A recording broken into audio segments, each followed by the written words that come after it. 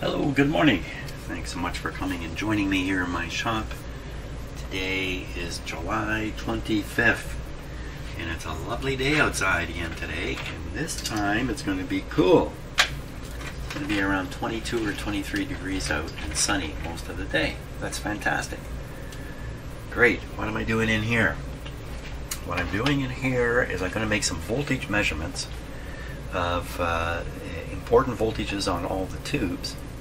A lot of what the radio is about, or any electronic device is about, is setting up operating conditions for active devices like tubes or transistors. So the way it's done with tubes is with fairly high voltages, a couple hundred volts on certain uh, elements. And those voltages are fairly um, constraint, I guess. They got to be the right amount to produce the right uh, action in the tube. And uh, now there, there's a range of operating, of uh, beneficial operating conditions for each tube. The uh, tube manual, you see me wave around here once in a while. This guy here uh, gives kind of uh, operating conditions for tubes, but engineers are free to vary from those a little bit anyway 20 30% up or down.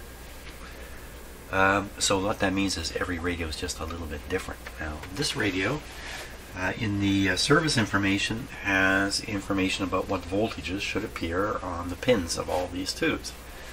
So we're going to avail ourselves of that information and uh, utilize it in making measurements to verify that these important voltages are correct. Now it's really only one or two voltages per tube, the plate voltage and the screen voltage, that are really worth measuring and uh, and considering.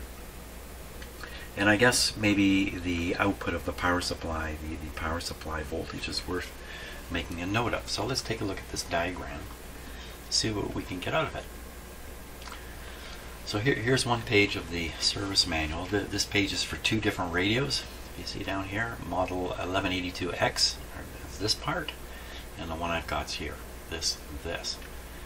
Um, you know, I should have had this chart uh, out with me for I've been working on this radio because it's very helpful. Let's just take a look at it here. So what this chart is showing is uh, you can see all these voltages written here 15 volts 300 volts 250 volts and then you see a line coming down to something this is not a tube this is the filter capacitor and you see the other end of the line going out here to the edge of the diagram. Just a wee bit odd that they've done it like this, but this is how they've done it. This means you're reading the voltage from this point to the chassis of the radio. And there's just a few voltages here, maybe just this one, just this one, that is measured between two pins. And this is the output of the main power supply uh, transformer, the big transformer in the radio, 760 volts AC, sitting between pins 2 and pins 4. You would not want to touch that, that's for sure. So we can check that too. So I'll be studying this diagram. I printed out a version of it. I think it's going to be too small to read, but pictorially it might be helpful. See how in, in each tube they show the tube key. That's this part sticking out here. It's sticking The key here is in a different angle. Uh, that's helpful. I wish I wish I realized that was on this diagram earlier on, but that's okay. Um,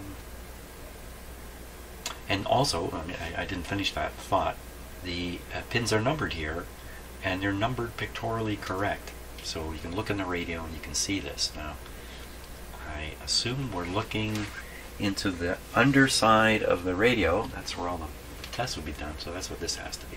Pretty sure of that. Okay, I'm going to stop, get my printed version, drink a little bit of coffee, turn on the voltmeter, and we're going to go at it here. Okay, so I think what I'll do is I'll do the first tube. Uh, I'll start with a rectifier tube down here, in fact. So you can kind of see the process. Then off camera I will go through all these tubes because this is painful to do on a camera. And any anomalies I will mark down and then we can look into them. I don't expect any, but you know, who knows, right? So I'm going to put this on. we're going for pretty high voltages here on the rectifier. I'm going to stay away from the output of the transformer, which is an AC voltage. And I have to wear these things just to read this diagram here. So we're looking for 300 volts on pin 7. Without the radio on, I'm just gonna, it's just a little too dark.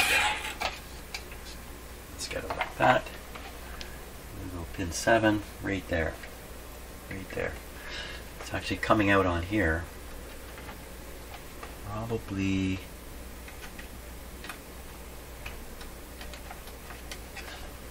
probably because they have a way of when you pull this out, you break the uh, B plus circuit right at the tube. So there's no B plus anywhere in the radio. Something like that's going on, I think. That's that's a common thing to have a little jumper associated with this. I don't know. Who knows? Okay, let's get it going. Volume down. Broadcast band. Power on. Power really on. Okay, so we're set DC 500 volts here. We're looking for 300 volts. It should come up to about there on the meter. Got to do this with full voltage applied. Okay, we can take a look now. Make sure this is on DC. So it's two. This is a fairly accurate meter. 275, not quite 300. We're feeding the radio with 113 volts. Let me just crank it up a bit here to the proper line voltage. 117. Okay, now we're right on 300. 300 volts, right on the money. Excellent. That was so easy, I'm going to do another tube. That was too easy. So we'll just continue on upwards. Next tube is uh, uh, oh, 240 volts, 250 volts, just and 15 volts are the three voltages I should find. The uh, 250 and 240. So let's go for the 240 on pin 3, 250 on pin 4. One, two, three. So that's 240 there. And then the next pin over, 250. Okay, so the uh, important thing there is that one is uh, a little bit less than the other. I want the screen voltage normally a little less than the other, and then the 15, 15, 15 is on pin 8, 15 volts, pin 8. Get the right tube, the right pin. There we are. 15 volt scale there. You can see we're just over 15. Just we're about uh, 17. That's fine. That's fine.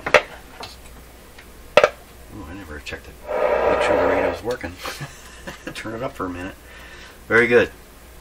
Those interesting pops just went by there. Uh, hey, let's just go on. This is going so well, I think I'll just carry on here. Number three third tube rather. We're looking for 240, 250 again. Same pin locations. It's exactly the same. 15 volts. Oh, these are the two output tubes I'm doing. Okay, that explains why they're the same. So, so, so we should see, it's supposed to be 240, 230. We'll probably see 250, 240. Pin 3. Pin 3. 1, 2, 3. Here's 3. Go again. Pin 3. So we're 250. And then, I'll see, though, just 250, uh, maybe, maybe two, almost 260. And just below 250. Okay, so again, Oh, and then 15 on the uh, on three, wasn't it on three? 15 on no, it was pin 8, wasn't it? Pin 8. It's pin 8. pin 8, we should see 15 here. Okay. 15, exactly the same as the other two. Perfect. Perfect. 15 is the bias of the output tubes. Let's just keep going. Just ripping right along here. Okay, now in this case, the next tube, fourth tube up, we're looking at looking at something I can't read. I'd say 85 volts on pin 6. I think it says 85 volts on pin 6. Pin 6 is right here. 150 volt scale over there. 150 volt scale, we're at uh, 80, 89 volts. That's fine. That's just fine. There's only one voltage on that tube worth looking at, I think. Would look that way. Next tube. A lot of these tubes will only have a plate voltage on them that's worth checking. So that's what we're looking for. 245 on pin 8. There should be another voltage on this one. And 95 on pin 6.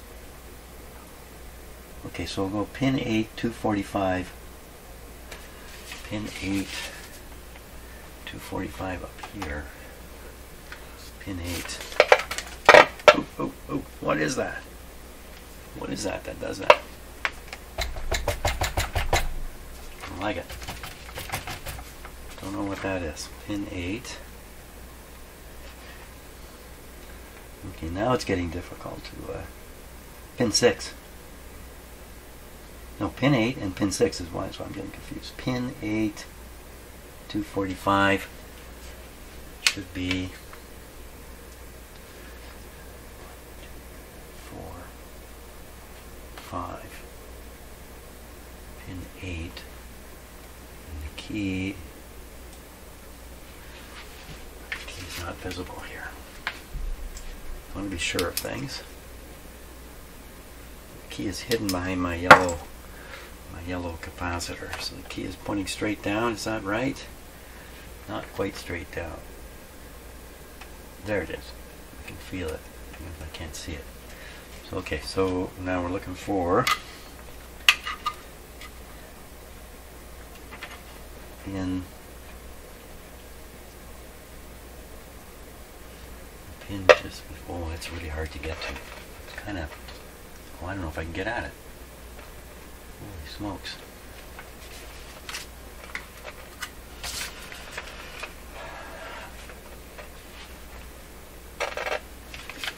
There's that crashing sound.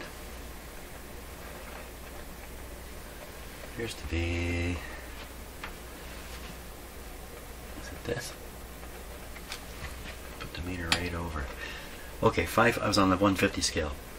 On the 500 scale, 245 is going to be right in the middle. 245. Whoa, whoa, whoa, whoa, whoa. 250 on the meter. Perfect.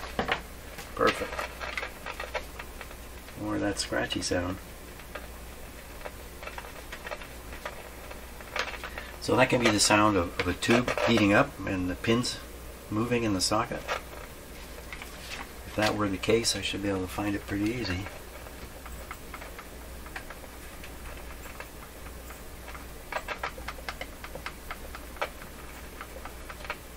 A little hot. There's one more tube up there. I can't get at it. Nope.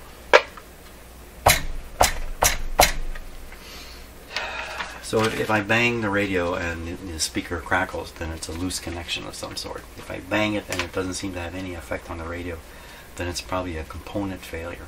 It could be everything from a resistor to a tube. A tube could be making this sound quite easily. It could be an internal partial short in the tube doing that. So uh, hopefully we don't, we don't have to wait till the smoke shows up again. That's that was how I did it last time. Here we go. Next two, right up the top here. Band switch? Oh, was that enough to stop it? I don't think so. Oh, maybe.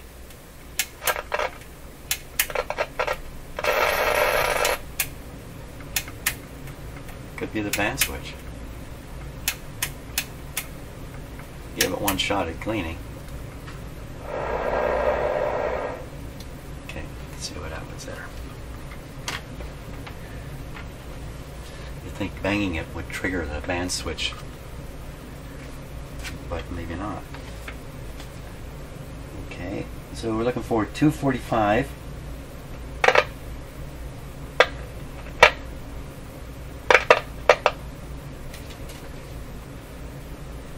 I don't think it's a band switch.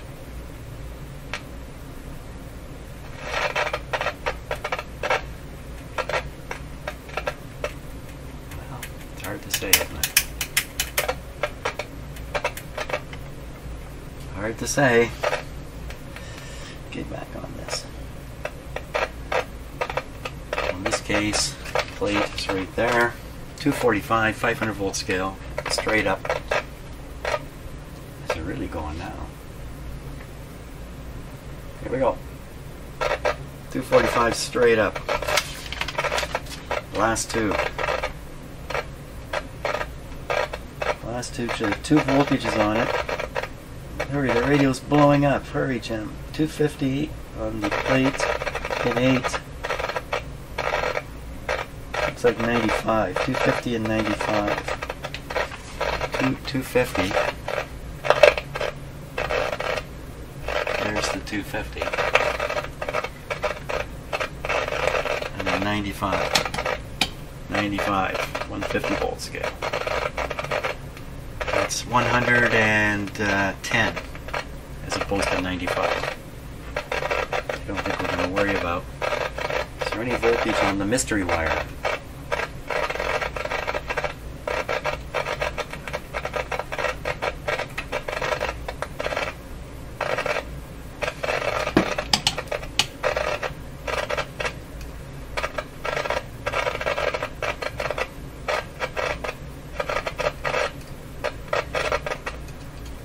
No voltage there.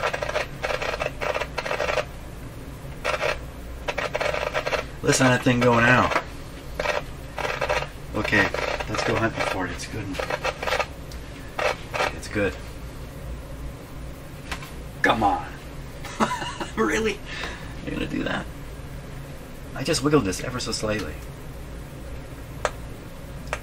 What, what, what could be related to that? It's all gone now. That's often the case, you know, with these noises. They sort of build up to a crescendo and then whatever it is locks in. Radio's still working. Lovely. Okay, so we've gone through the main tube voltages, haven't found anything at all out of sorts, which is fantastic. Uh, this means that uh, unless a tube itself is weak, the tube tubes in the radio are all doing what they're supposed to be doing. Now I do remember when I tested them I found uh, two so weak they had to be replaced and then there were two more that were also weak which I left in there. Um, I, I, I would still be hesitant to trying to draw a conclusion that the problem with the weakness is only weakness in one band so how, how can a tube affect one band? Um, not very likely. Let me shut it off here before I forget. Uh, the next step now is to do an alignment. Uh, that's a that's an involved process. Um, alignment assessment. I've done that a little bit by uh, firing in set uh, RF frequencies from the signal generator and then seeing where the pointer's ending up, and it's never ending up in quite the right place. Uh, so that, that's a bit of an alignment issue. And and an alarm is going off in my house, so I must go check something. Time has come to check something. A good time to have a coffee break too. So uh, during my uh, coffee breaks, I've been watching a video, uh, Lex Fridman video. He's a guy who interviews uh, intelligent people with important things to say. And he's interviewing a guy named Martin Rees. Martin Rees is a pretty old guy, a scientist, a British scientist, I'm pretty sure. Uh, I think he's Sir Martin Rees. And uh, this guy, who is among the smartest people in the world when it comes to physics and stuff like that, uh, he made this statement. He said, if you got a chimpanzee and you tried to explain to a chimpanzee how an airplane flies, you probably wouldn't get very far. And you'd end up saying, well, it's impossible to teach a chimpanzee how an airplane flies because he's just lacking all the brain power necessary. I can't even talk to this guy. I can't even communicate anything about this. It's just hopeless for a chimpanzee to ever understand how an airplane flies. And then Rees made this point. In the same way, it's probably impossible for a human being to understand the universe. I almost fell off my chair when he said that. Yes, we spend our lives banging our head against the wall trying to figure out truth and all that kind of stuff. At least I'm doing that.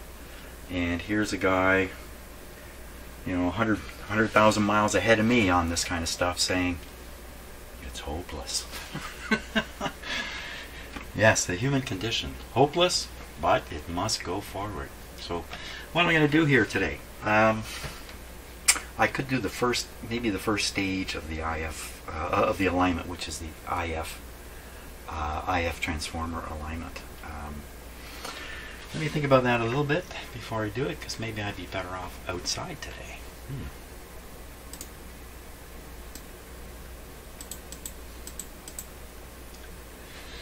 Okay, well, it took me a little while to find the uh, instructions.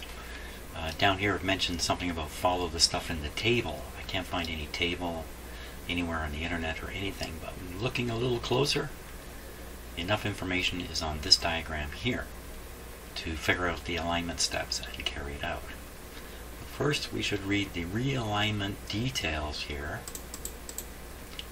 because this is a chance for the engineers to speak directly to people like me or others who might be attempting this.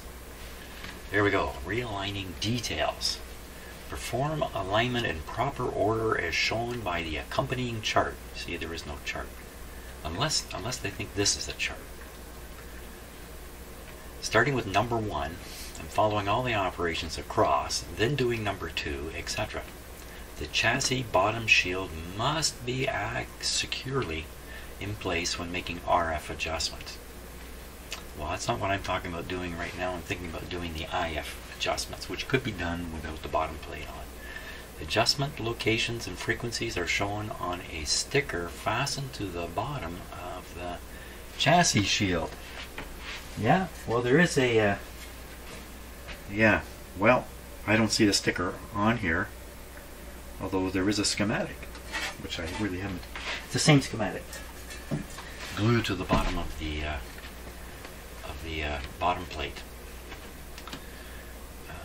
Connect the low output of the terminal of the test oscillator to the receiver chassis for all alignment operations. Regulate the output of the test oscillator so minimum signals apply to obtain an observable output. So keep the input signal as low as you possibly can. This will avoid AVC action. So if you let the uh, AVC operate in the radio by supplying a stronger signal, then that makes the alignment, sharp alignment difficult. Doesn't make it impossible, it makes it more difficult. The term dummy antenna. This is great because I hate this term, dummy antenna. It is thrown around so loosely. The term dummy antenna really means the device which must be connected between the high test oscillator output terminal and the point of connection to the receiver in order to obtain an ideal alignment. So dummy antenna, um, well, I guess we'll find out what, they don't say what it is here, but there is a standard dummy antenna. I, uh, and I should really call it an interfacial circuit between your test equipment and the radio instead of this term dummy antenna, which is misleading. It's very misleading.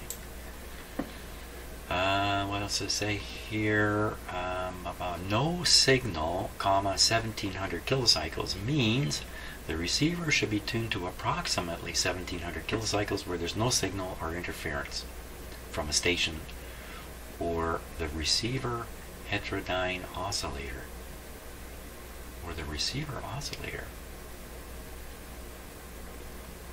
from a station or the receiver well how does the receiver's oscillator.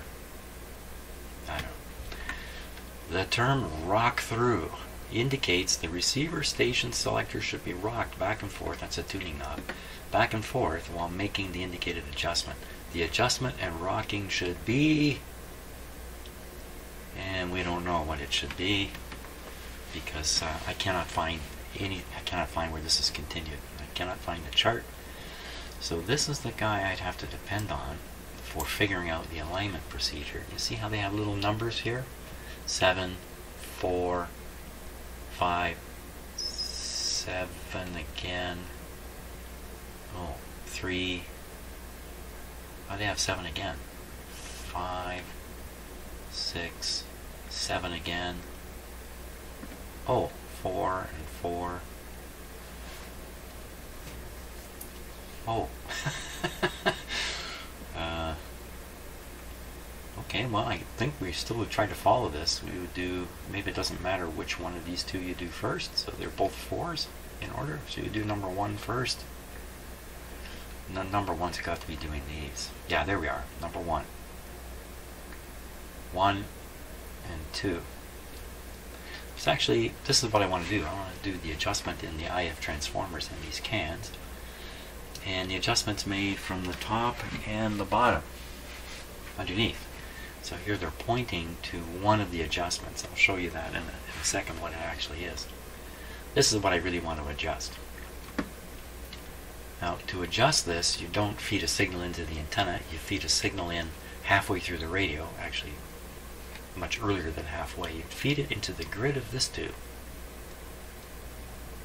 And what I feed in? I would feed in the IF frequency of 460 in this case. That radio is designed for a 460 IF frequency.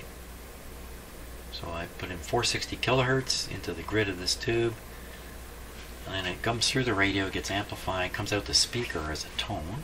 And the tone volume is what we measure as you make adjustments. So the louder the radio, the higher the indication, the better the alignment. Basically, that's the theory. What's this here? Dummy antennas. 0.1 microfarad condenser for operations 1 and 2. And they're talking about operations 1 and 2 are, are just what I'm thinking of doing. So we'd use a pretty big capacitor to feed uh, signal from the signal generator into the grid of this tube. 0.1. That's a large capacitor, 0.1 and we're using 20 picofarad for 3 and 4 and then we're using 20 picofarad resistor for what? 20 picofarad resistor for operation. Okay, so this is probably kind of trying to refer to this a standard antenna interfacial circuit. trying to pick my words carefully, which I have. I have one I made up for another radio a long time ago, so I could use it. Hey, what's this say? Alignment procedures perform operation in numerical order. Oh, this is the other radio.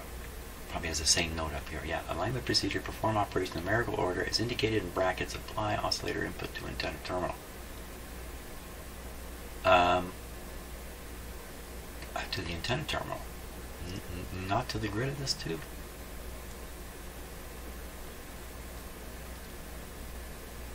Operations 1 and 2. Well, that's what it says. Now, different radios get aligned in different ways, but they all, in the bigger view, they all amount to the same thing. You can feed that signal I mentioned, the 460 kilohertz, into here. I think what they're saying is just feed it into the antenna. It'll make its way to here, and it's just as good. Um, I guess that's how you have to interpret that. Connect oscillograph high terminal to shielded lead terminal on volume control. So if you want to use a oscilloscope and a sweep generator, which is another way of doing the alignment, you would uh, make this connection for your scope. You just have to make a decision here about connecting to the grid here. It doesn't say anywhere connect to the grid. This tube just says sticker on the antenna.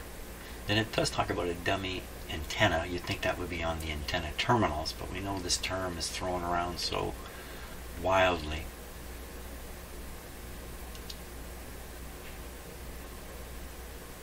Well, well, well, well, we'll try with the antenna and see if that works. Uh, good. Let's check it out. At the very least, I can do a sensitivity check and see if the uh, IF is aligned correctly or, or, or, or can be improved.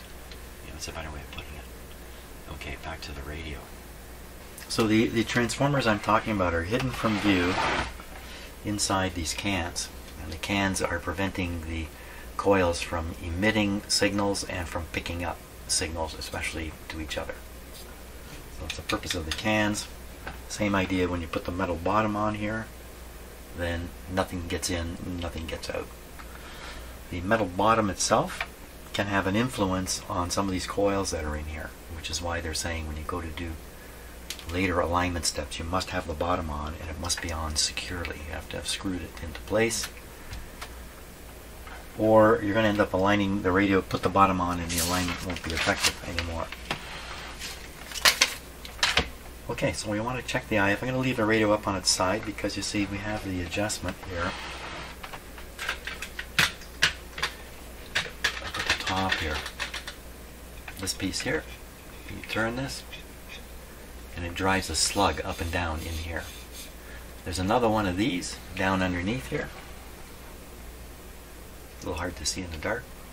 And it's moving another slug up and down the lower part of the coil. So there's, it's a transformer. There's two coils in here. So one slug for one coil, another slug for the other coil. One is a primary, one is the secondary. It's a little hard to figure that out. Yeah, it's hard to figure out if it's this or if it's a lower one, it doesn't really matter, I don't think. Not, not, not really. So what I need to do is I need to get my signal generator going here to uh, 460, as we read, and feed the signal. Here's the output here.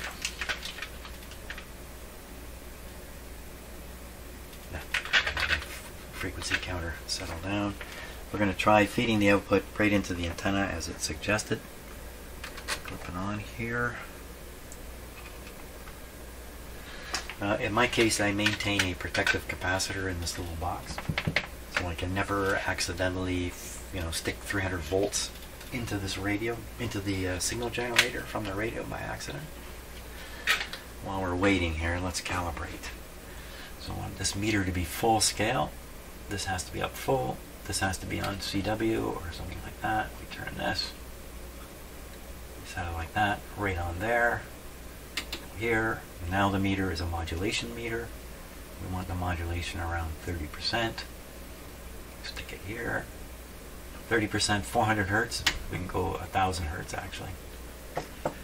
And what this means now is here's a multiplier. It's receiving 10 microvolts. I guess we could look at it that way. And by turning this control, I'd like to turn it here to times 1, there should be 10 microvolts coming out of here with this calibrated. Is it still calibrated? Yeah. There's some problems with, with knowing the voltage uh, that reaches the radio, but this will certainly give us eh, eh, eh, you know, at least an order of magnitude understanding of what kind of signal we're sending to the radio. Still waiting for my counter stop acting up. I need to warm up the radio and let it warm up fairly good to do this. So I'm going to switch it on. Are we ready? Sure, we're ready enough. Switch it on. Get it going.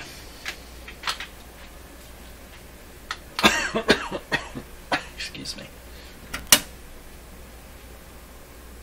Should take about one coffee break's worth of time to warm up this radio completely. There it comes.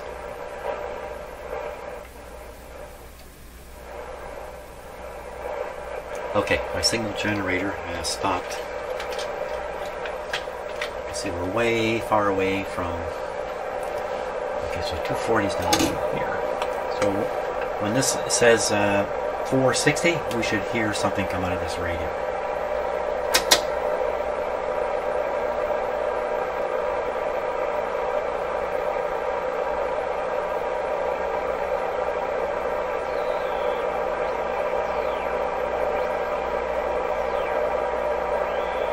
Hear that at 436. That's not very good.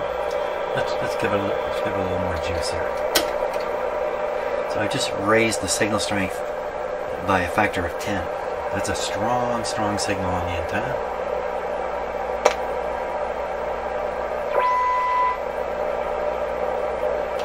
So this is where it should be. You should hear a tone here at 460.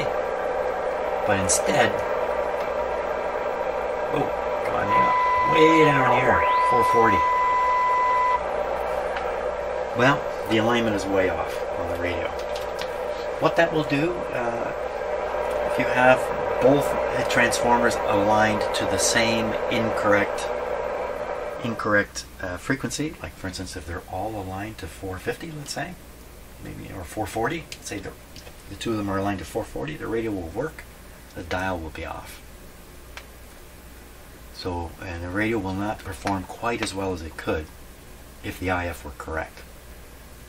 Um, so, so that's the name of the game there. That's why the radio worked a little bit, but never performed very well. Could simply be, be simply be because of this. Now we gotta let the radio warm up and stabilize for a bit. So it's it's coffee break time once again. Okay, I think we're ready to go here. Um, now, it didn't say it in the instructions, but probably what the uh, uh, engineers expect people to do, like me, doing an alignment, is hook up a voltmeter to the speaker and measure the speaker volume on a voltmeter. Um, you shouldn't just rely on your ear. And I could do that, but the problem then is we have to listen. You have to, you have to listen to this radio and the tone it's going to generate from the signal generator, which is thoroughly annoying to me. Uh, so, you know, being the kind of guy who doesn't follow all the rules all the time, I'm going to use my voltmeter and I have it connected to the AVC voltage. Now, if I explain the AVC voltage, automatic volume control, uh, maybe I'll just take a moment and do that before we start relying on it. That's what this meter is showing right now, is the AVC voltage. It's a negative voltage, it's a very low. This is 15 volts, it's very low right now because the radio is tuned to nothing. I'll just show you what happens. Swing the signal generator through the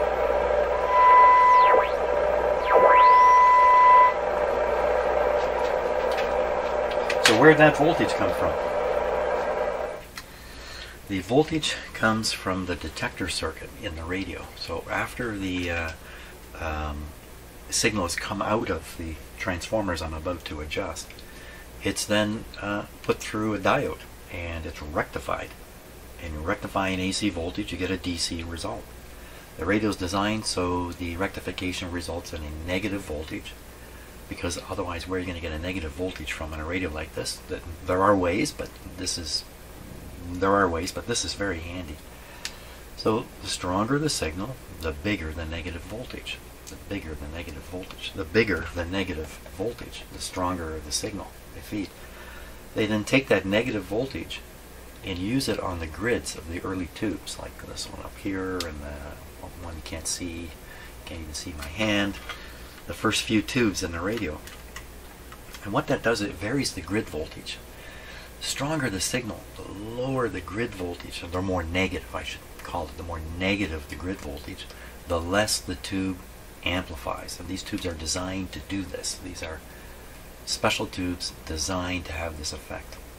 So, uh, stronger signal, more bias, more, more bias, tubes get weaker.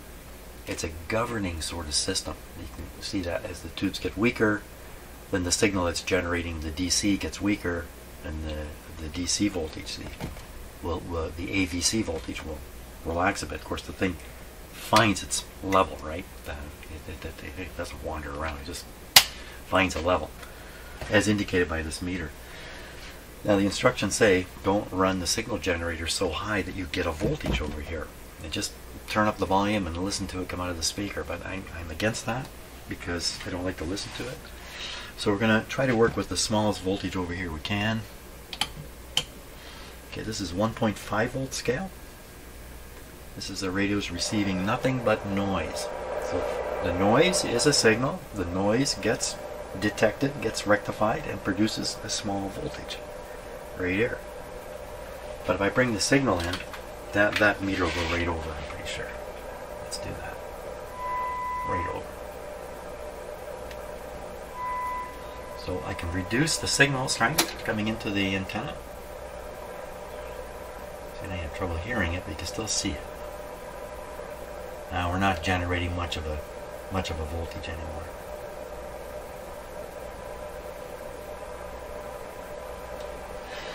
So there we are. 440. Not 460. That's quite that's, that's quite an error. That's quite an error. Now we're going to try to alter the tuning of these two transformers. Um, I need uh, a screwdriver to do it.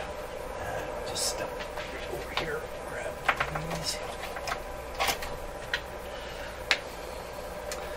This is a special alignment tool. It's not quite the right kind. This is better. Let's see if I can fit this on. Fit here. There we are. So I'm ready to turn this, move the slug, reset the resonant frequency of the transformer, and and get this thing aligned at the proper frequency. The difficulty with this radio is th this is so far away, 440, and if I go up to where it's supposed to be, I can't hear it. It's just gone. If I can turn it up, still can't hear it. So I'm going to get all the way up to 460. I'm going to have to slowly move, move my way up. Now another problem with using the antenna as an input is the signal is traveling through everything. Turn this down. Right, the idea is we don't have to listen to that. Signals traveling out of this tube, through this transformer, through this tube, through this transformer, and on, on out to here. So I'm going to try to adjust this one, but this one may be out of whack. So I have to go back and forth, back and forth, back and forth until until I get the proper max uh, set up. I could put the signal into the grid of this tube and then just focus on this this guy, but I'm going to try to cheat here. See if we can do this the easy way. Okay, so we got to watch this meter. I'm to have to move things around here a little bit. I'm going to go work around the camera a little bit here. Okay, so I, I can see the meter. A little overlit. Why so overlit? Well, we just have to we'll have to go with it. Maybe because this is so dark in here. My camera has turned itself. Maybe I can fix that by doing this. Fool the camera. Okay, here we go. Let me turn the volume up a little bit so I can always hear it. Just barely up. Turn the signal strength down a bit. Okay. Turn the volume back up just a little more. There we go. So now I'm gonna I'm gonna move the frequency in the direction I want to go until I can't hear this anymore. Turn it up.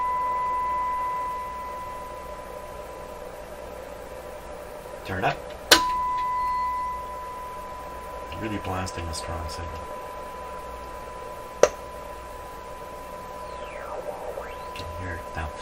Because I'm pretty sure these transformers are not tuned to a particular frequency, they're kind of all over the place. The signal's getting through all over the place, so let's see if we can clean it up now. We're at 455. That's a good place to get to. Here we go. Start with the first one. Very strong signal to, to that's why we can hear it. Okay.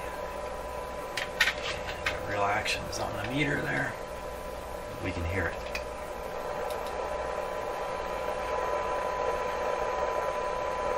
Okay, that's the first one. To the top of the other can.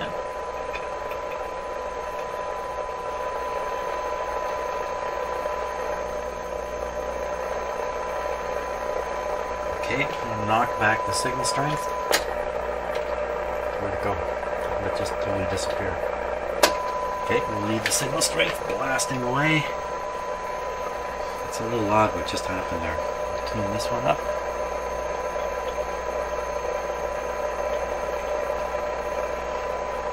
Okay.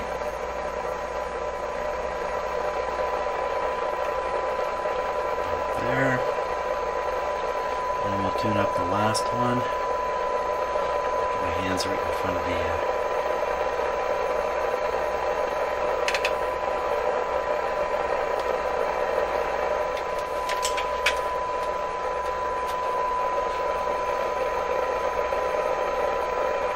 got a wire kind of in the way here. Yeah, you know what? I gotta move that. Okay. Radio off. This might cause a spark. Scare myself, man. Okay, just move that over. Move, move, move this over. I get a clear shot at that. Let's just check it. Okay, I got it. Power back on. I'll have to give the radio a moment, but not much. Designed the radio so it doesn't drift uh, with voltage changes. Okay, turn it down a little bit. Okay, eye up on the meter. See if I can stick this in here.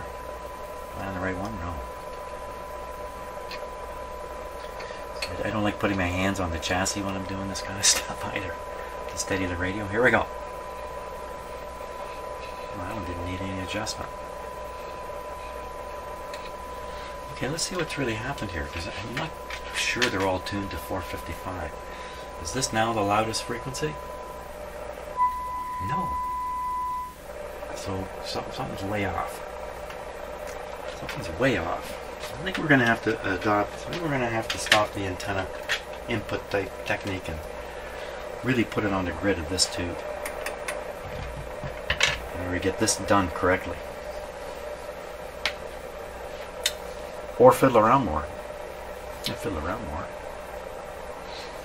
Let's do this, because I, I, I, I just assume achieve it here. Uh, let's tune down again. Okay, tune up a little bit, just a little bit. See, I went all the way up to 460 before. Okay, so we're just a little bit up, 441.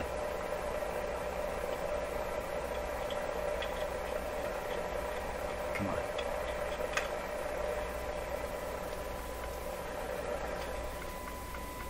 Ooh, look at that difference. Just this guy here.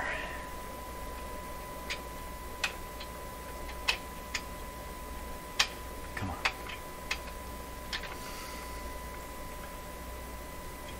Just gotta keep conscious not to put my fingers into the back of the radio. Okay, then let's go up. Let's go up higher. Frequency.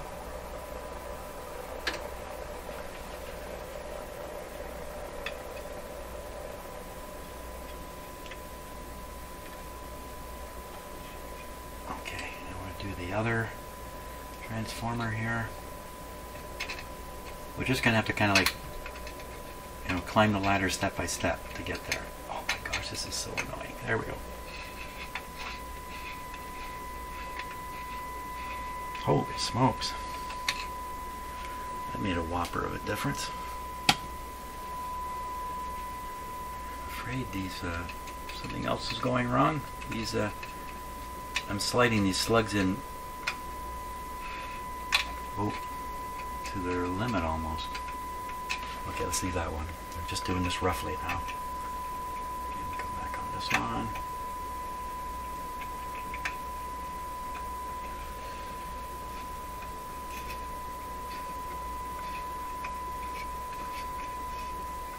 Okay, and this one. Step by step. Turn it by hand for crying out loud. Okay, we're at four. Made it all the way to 444. Let's go up. That's all I can do.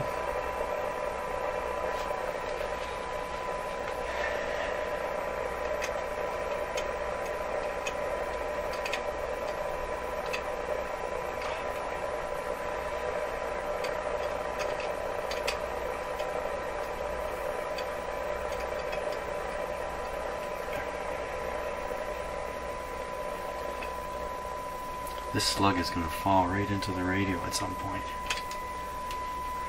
Man, I don't know what to think of that.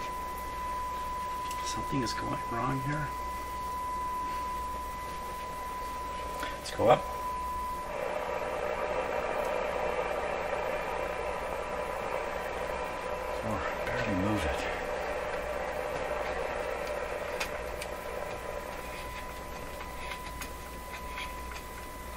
Is way, way, way out of adjustment. Way, way out. Go up higher. Okay, we're at 452 and I can still hear it.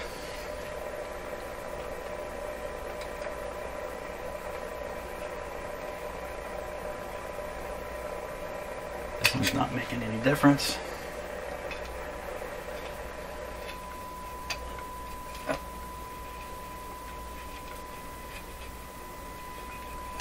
Oh, you're supposed to be looking at the meter here. Watching the meter.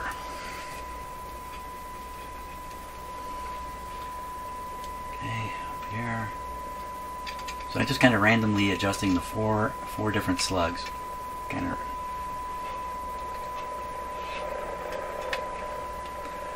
We're almost up to 460 here.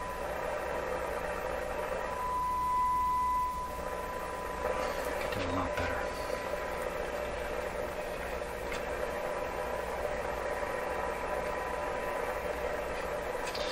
So, if you think of the coil and the slug in it, so pretend my fingernail is the slug here in the coil. Okay, so sitting here is not much different than sitting up here.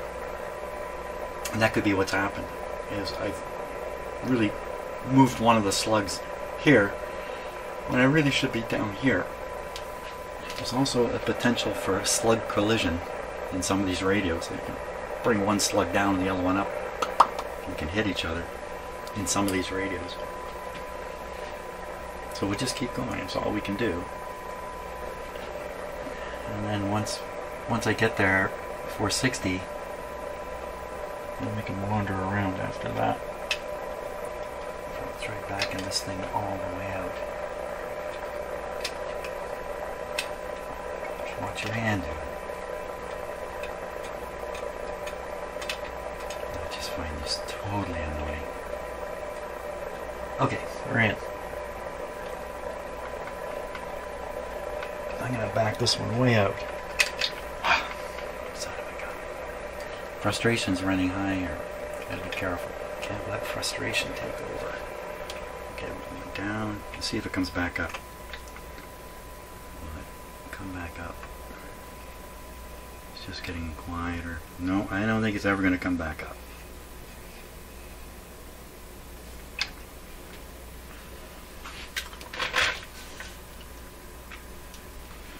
Okay, so I'm going to crank it back down. Let me just show you what, what I'm doing exactly.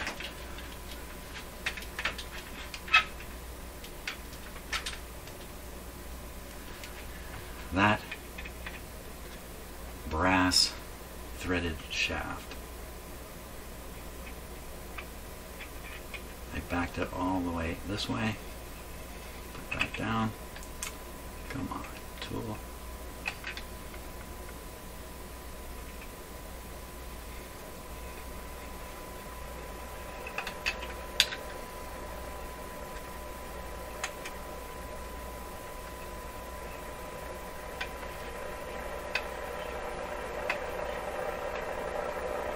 almost we're almost through it. I don't know. Carry on. So it's not just the coil that's causing this transformer to, to do its thing. There's a capacitor. Uh, could be inside. Could be down below. The capacitor could be a little out, causing the coil to have to be adjusted. You know, to compensate for the bad capacitor. Just guessing. Uh, okay, uh, where are we here? Let's just. So we're at 450, really. And I'm just trying to get it to go up to 460.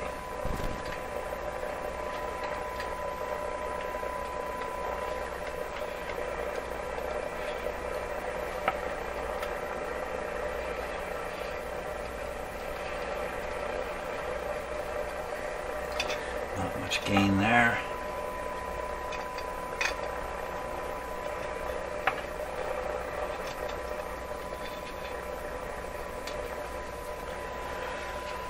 Doesn't seem to want to go anywhere here. 454. Can't even hear it. A very, strong signal. I wonder if there's a uh, 460 trap in this radio.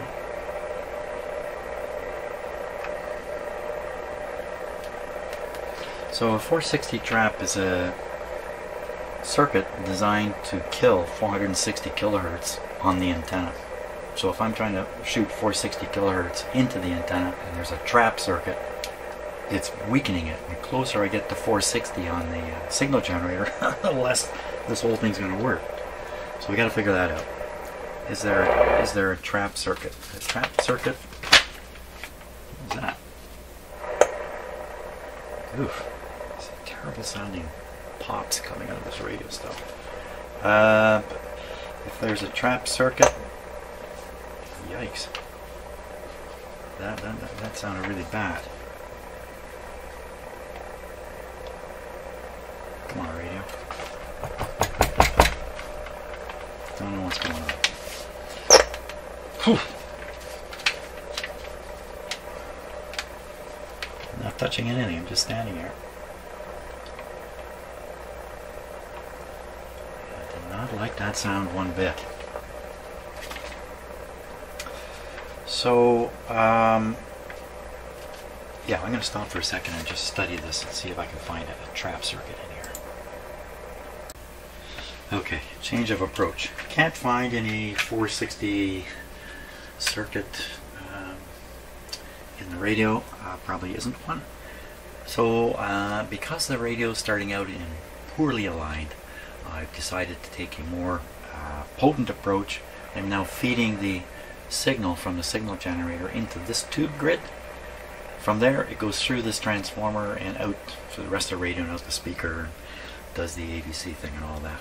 I don't have to deal with this one anymore. So first thing we want to do is vary the frequency on the signal generator and just see where this transformer is tuned to. So there's 460. It's way out. It's way. It's like 4 425. I'm just 16 miles out here. So let's start the process again, just with that transformer here. This one. So it could be my first attempt feeding this signal generator signal into the antenna was no good. I should keep an eye on the meter over here. I'm, what I'm doing is I'm normalizing the position of this slug. This is, this is kind of where it would normally be, kind of like this.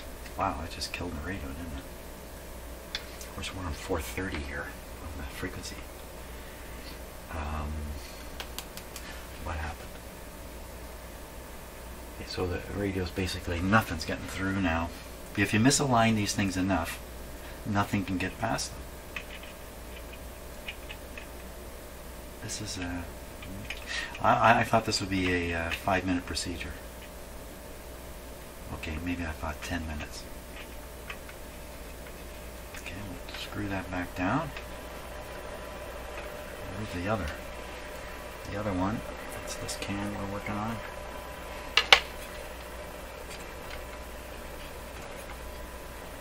Again, I'm moving it more towards its normal position. What I would guess is the normal position. Nothing happening here. I can't turn it.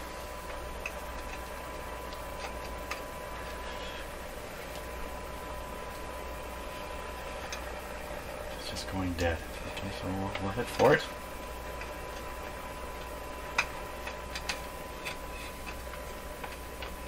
Wow.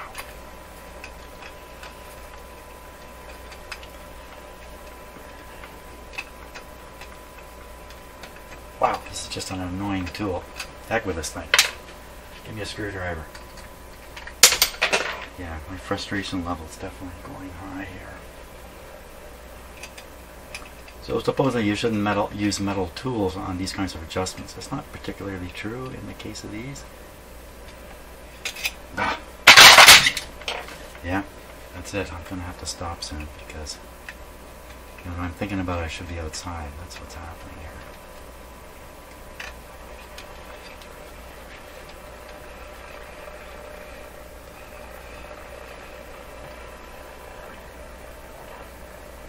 Unbelievably bad. Let's go with the more level here.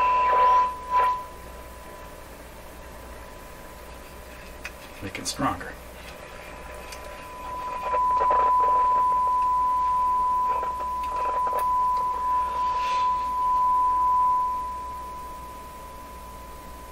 Okay, so I've got the signal generator set to 460 and we can hear it. Perfect. Now I should be able to get this transformer to max out. This one. Let's see.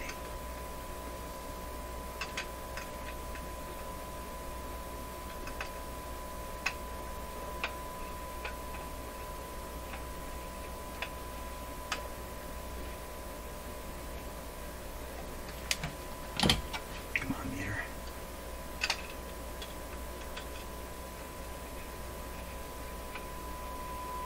Oh, fantastic. So this slug is now moving into the normal range and the signal's coming up.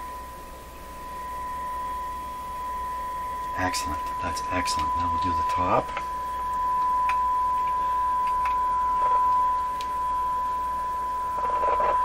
We don't need to listen to it. That's the whole reason I'm not using the speaker.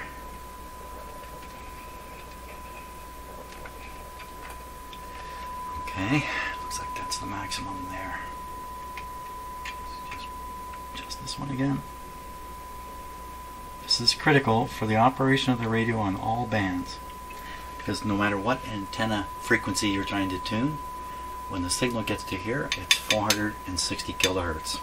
Doesn't matter your shortwave or whatever. So any adjustments done in this later stages of the radio affect the entire the entirety of the radio. So I think I got this one tuned to 460 now.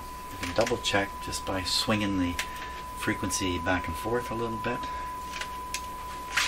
Watch the meter, set, make the meter go as high as, as we can get it. I would say right around there. As high as you can get, and you can see the number 460.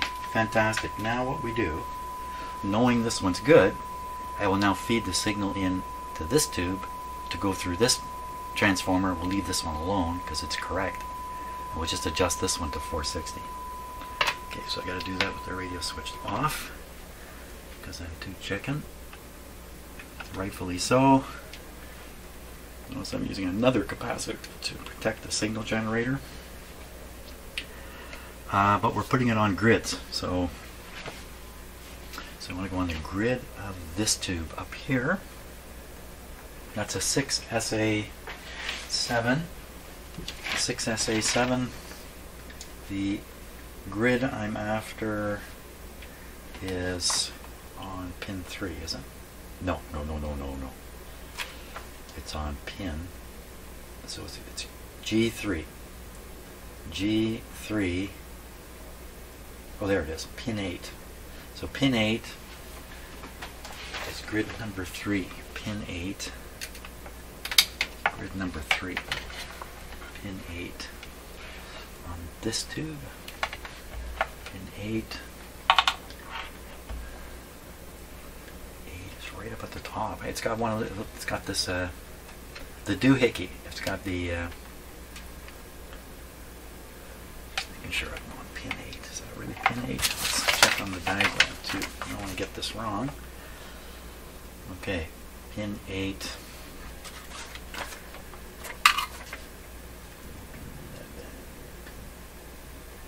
Eight, pin 8. Yep, that would be pin 8. Okay, so we're going to put this on pin 8.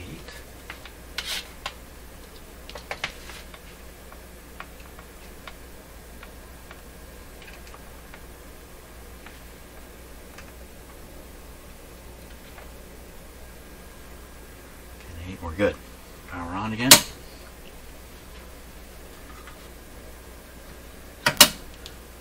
Okay, let her warm up, and we should we should hear this uh, 460 tone. Well, if we do, we're in luck. Here it comes. Fantastic. Turn down the level. Too low. Start adjusting it as soon as I can find my alignment tool. Make sure I do the right can now.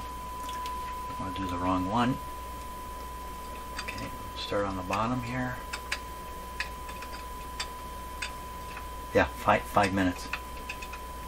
How many things in life have I thought were going to take five minutes? There we go. Meter go up. Excellent. I'm moving the slug more into the normal position again. Look at that. Wow. Wow. Wow. That's exactly what would happen if we were listening to a radio station. I'll turn this down. Okay, so now the signal coming in to the radio, even though I'm injecting it here, is similar to the signals coming from the antenna, even though there's no antenna connected. That's why you can hear the bump, bump, bump, bump. That's perfect. Okay, right can, don't make a mistake. Watching the meter, down. Oh my gosh. It's hard to say, but I think I'm just discovering piles of sensitivity here in this radio. Hard to say offhand. Okay, top.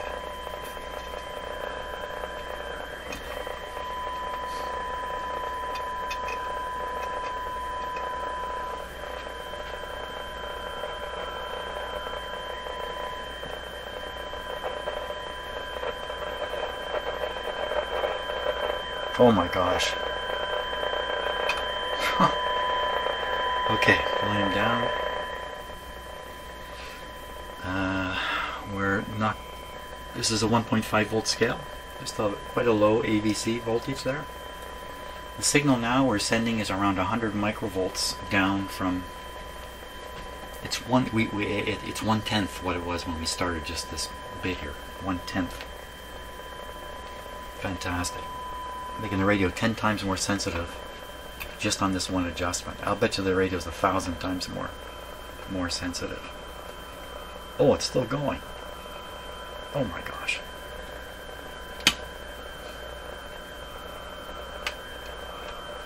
Wow, where's it going to end? There. The uh, slug almost disappeared into the top of the can there. Both of them quite low now. But similar.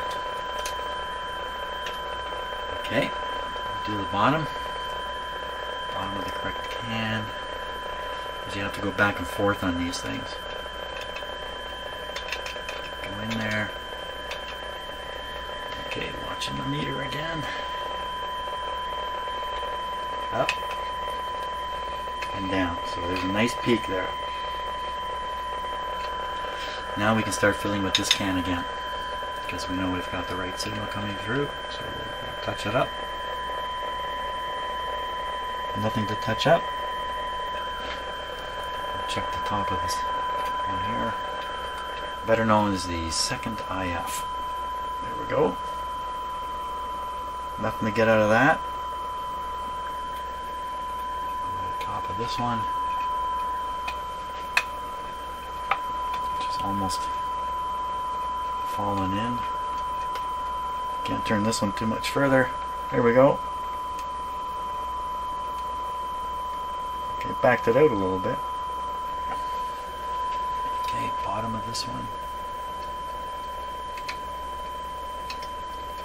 Yeah, it'll be interesting to uh, play this radio once this is done. Because I think a, a huge amount of sensitivity has come. This also affects the tone quality of the radio. You can sharpen these things up to the point where you begin to lose the treble in the stations you're listening to. So occasionally when you're all done you have to go back and turn these just to make the radio tone quality really good. Okay, here we go. Down. I'd say that's the spot. I think that's it think that's it. Okay, volume down. This off. This off. Okay, volume up. It's quite, quite, quite a rumble in there. You can't hear it, but boy, that, my whole bench is shaking. Very deep rumble in there. Let's tune the radio a little bit. Now the rumble disappeared, so... Oh so that's audio signal coming through from noise. AVC 15 volts full scale.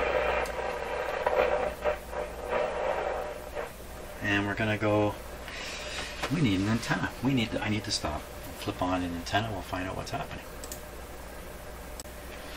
Okay, last time I checked, we could hardly pick up anything on AM radio. So I'm just gonna clip this on the antenna. The ground on and see what happens leave it off for now. Now, we're actually tuned for stations at this point. Again, this is in my house. It, it's hard to get good uh, reception, uh, even with this external antenna connected. Okay, if you just turn a little this way, you can keep your eye on the AVC meter too, down here. Okay.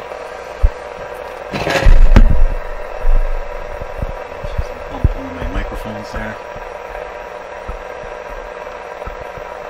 Okay.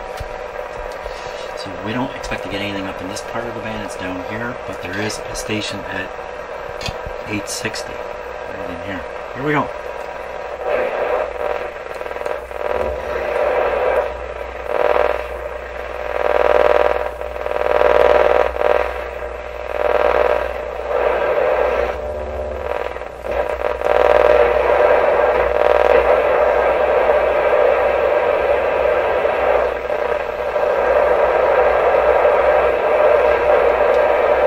Sometimes when I'm doing this, I hear voices.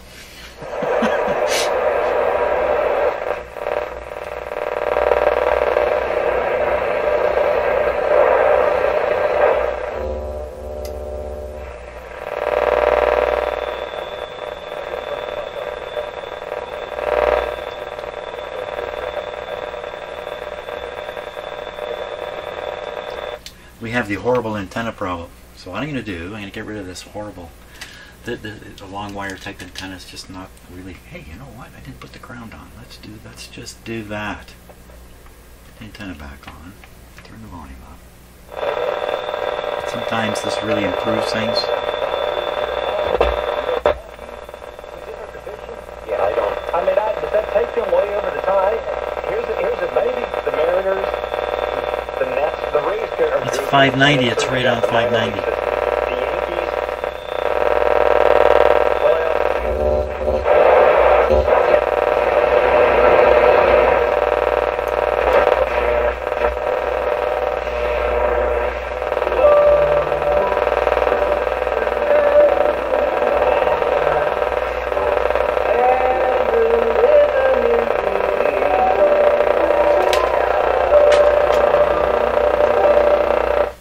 Another antenna. It may not be picking up this, this terrible noise. So I'm going to run and flip the antenna and then run back, see what happens.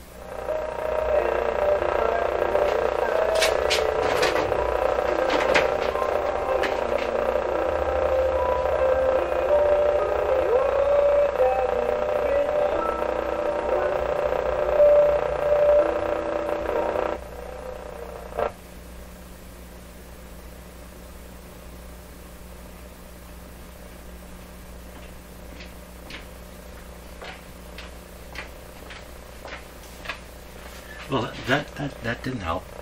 That did not help.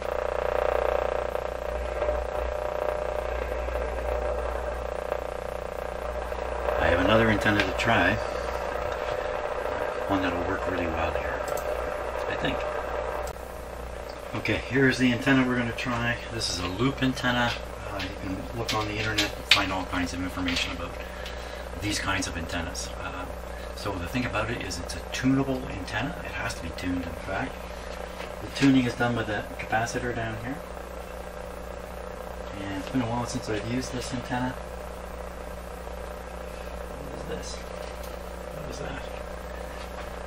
So we'll see how it goes. Now, the way this one connects, you can't connect one wire on this. You need to connect both wires. So I'm going to take off the. Uh,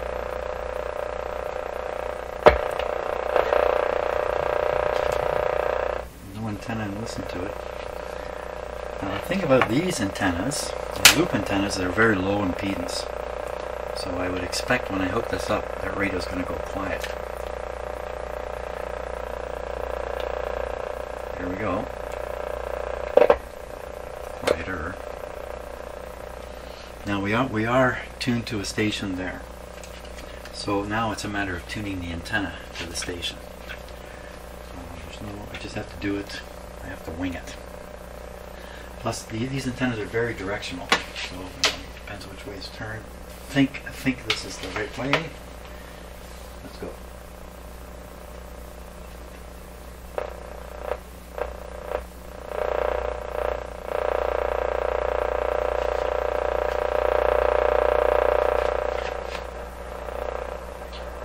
So I turn the antenna in such a way that it can't pick up that noise. Where's the station? I think I tuned the radio a bit, didn't I? Let's tune it some more over here. Here we are. Turn it up a little bit. Simplement par le fait d'être née. Euh, à la seconde même où elle était née,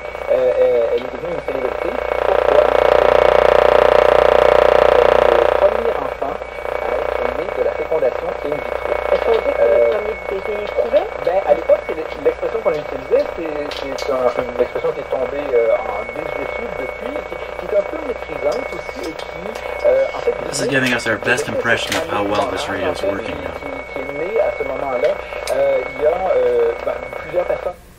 Thumbs up on that. That's working good. I, I've done enough radios, I've used this antenna enough times to know what good and bad is. This is good.